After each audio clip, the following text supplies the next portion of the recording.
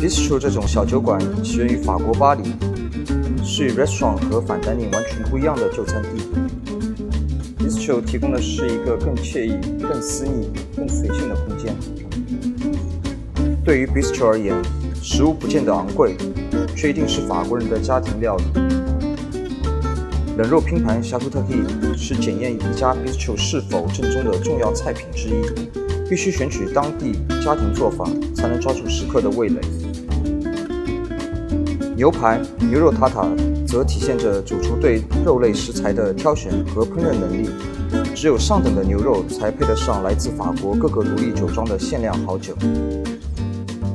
在法国，每一家 bistro 都有自己的特点，但有几样东西是每一家 bistro 都要具备的：印有北哈字母的铁牌，代表这里有烈酒出售；独立的酒窖和形状各异的醒酒器。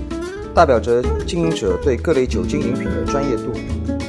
墙上悬挂的牛头代表这里提供优质的 steak。随处可见的手绘画报则彰显着一家 bistro 的生活态度。一家好的 bistro 应该给食客提供一种区别于工作和家庭的生活状态。